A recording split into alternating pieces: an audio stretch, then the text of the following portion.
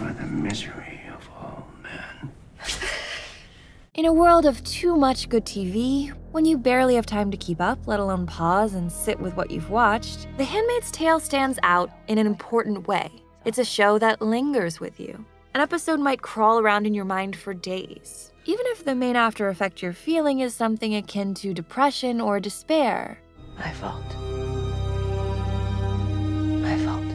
There's a lot of highly entertaining TV out there that gets us jonesing for the next fix, but leaves our minds pretty soon after we move our eyes in another direction. But what's strange about The Handmaid's Tale is that it's also a binge worthy show, the kind that gets you good and hooked. And yet you have to wonder what is it that's hooking you? Because so much of the experience of watching is painful. But only in suffering will we find grace. The question naturally arises are we enjoying the pain? Is there something perverse going on in the love for this show that many people feel? There's pain now, so much of it. We'd argue no. The pain of experiencing June's story is not a dirty escapist thrill. This pain is productive. So in this video, we're gonna take a look at why that is.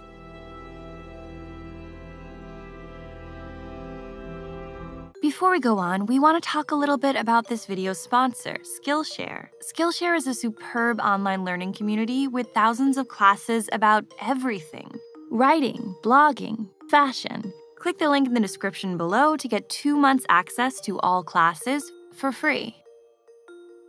Or you shall feel the pain of his judgment.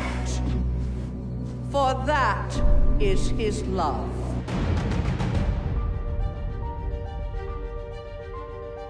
Watching The Handmaid's Tale is an experience of suffering on multiple levels. There's the vicarious torture of identifying with June and what she and all the other handmaids endure.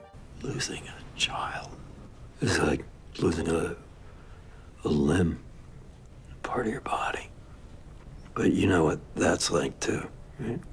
Then there's the emotional frustration of wanting a good outcome for characters we know can't really get it. The strange contradiction of watching this show is that while we want June to escape and get a happy ending, if she did, the show in its current form would be over. What will happen when I get out? I probably don't have to worry about it. Because there probably is no out. So we're torn between wanting June's torture to end and wanting more of this show, which generally consists of June being tortured. As the show goes on, it'll have to find a way out of this structural conundrum probably by expanding the story world further outside of the Waterford home, which we're already seeing start to happen more.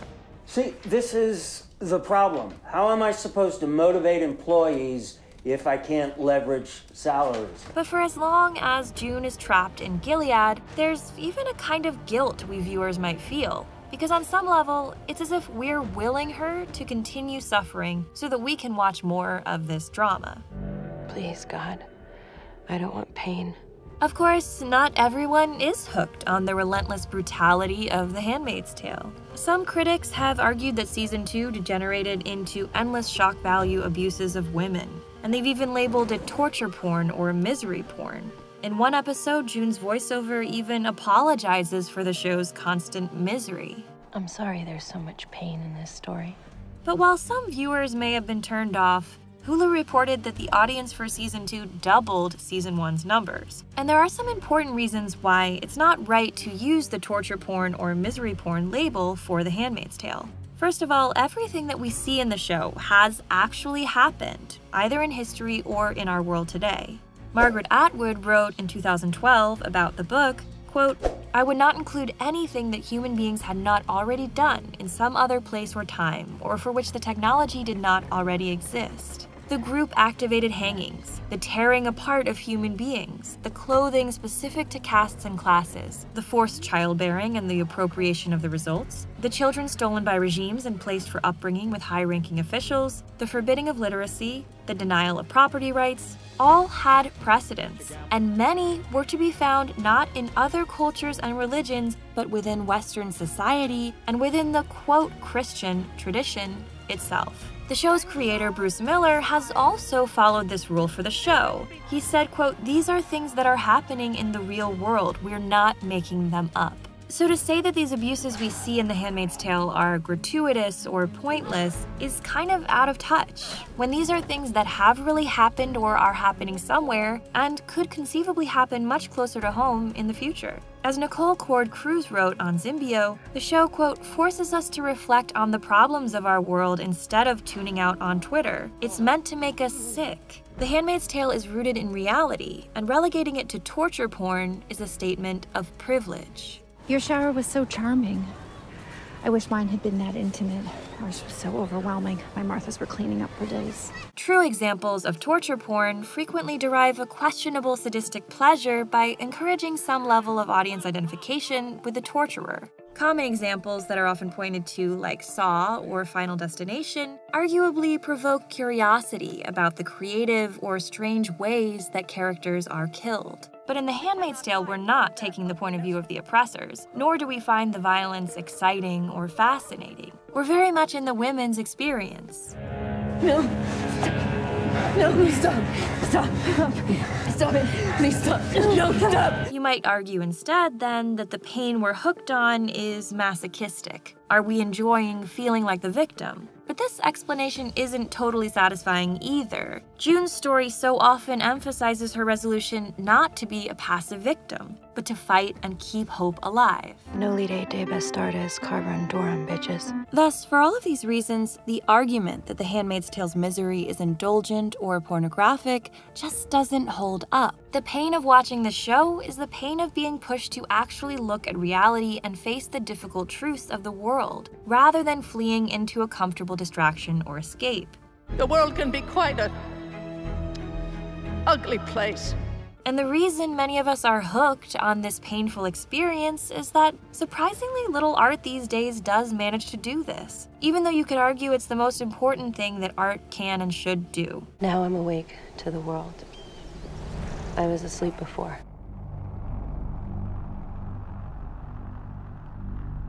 So, what reality is it exactly that The Handmaid's Tale is making us face? We talked in another video about how, beyond literal parallels to overt oppression, The Handmaid's Tale symbolically reflects dynamics we can recognize in a subtler way, even in US society, like the way a pregnant woman might feel infantilized by those around her.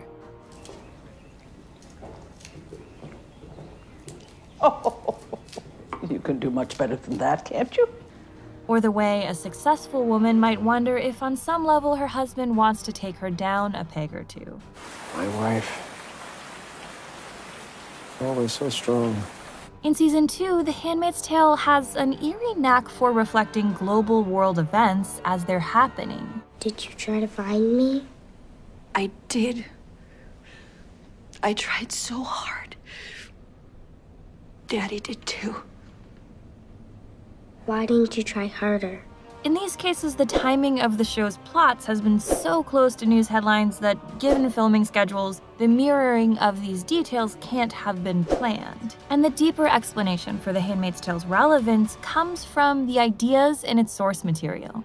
Atwood wrote, explaining some of her thinking in conceiving of Gilead, quote, The deep foundation of the US was not the comparatively recent 18th century Enlightenment structures of the Republic with their talk of equality and their separation of church and state, but the heavy-handed theocracy of 17th century Puritan New England, with its marked bias against women.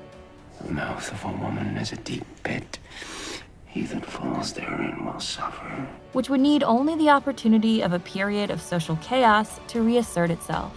This statement points to a fundamental piece of the US identity that's captured in The Handmaid's Tale. Gilead knows no bounds, Aunt Lydia said. Gilead is within you. While so much of American rhetoric centers on Enlightenment ideals like freedom and all men being created equal, another, perhaps equally important element of our society's emotional core is this puritanical outlook. A somewhat strict standard of piety, a willingness to judge others' sins harshly, I don't know how you could give your baby up to somebody else. I'm trying not to. I would die first. Yeah, I used to think that too. And a conservative approach to family and womanhood. No wonder God has turned his back on us. No wonder there are no children. He doesn't want them to grow up in this screwed up world. The US is the most religious, wealthy country in the world. Literary critic Harold Bloom calls our country, quote, a nation obsessed with religion. And the pervasive religiosity of Americans is evident even in the underlying logic of our popular thought and sayings that don't even seem overtly religious. Because everything that was meant to happen does. As Psychology Today wrote, the saying that everything happens for a reason is the modern New Age version of the old religious saying, it's God's will. Blessed be the fruit. May the force be with you. In her book, Atwood imagined how this puritanical spirit would be magnified in dark times. You're spoiled! You're privileged and you're living in an academic bubble! All of you! The rate of healthy births has dropped 61% in the last 12 months! And so, because we are currently in a divided, contentious era politically, the story, by following its own internal logic, will naturally arrive at emotional and thematic resonances with events in our world. But only the truth can save America now. What we're really recognizing here is an emotional reality. There is a mirror of our American society in The Handmaid's Tale. It's not a literal one, but a reflection of something that we recognize, that can be felt. But ordinary is just what you're used to. This may not seem ordinary to you right now, but after a time it will. This will become ordinary.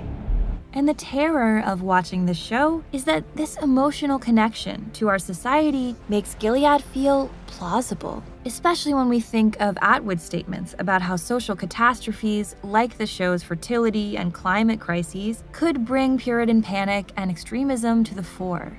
They can't just do this. They can't. They can. Atwood has warned that climate change especially presents a danger likely to hit women hard in the future, as women tend to suffer disproportionately in times of war and upheaval.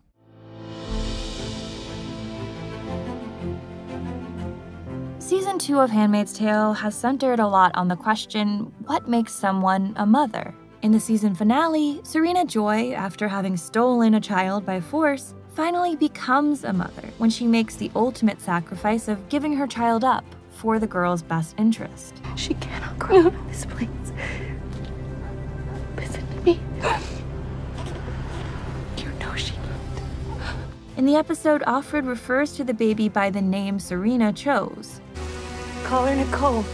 To honor that Serena's sacrifice has given her daughter a future. Being a parent, after all, is giving life to a future that we ourselves won't fully witness or enjoy. I need you to do something for me, okay? You listening? Enjoy your life. The deeper point in Serena's transformation is that being a good parent or a good person sometimes means doing the hard thing, the thing that doesn't feel good. We believe that our sons and daughters should be taught to read it. That is a radical proposal, Mrs. Waterford. Offered with the deepest respect.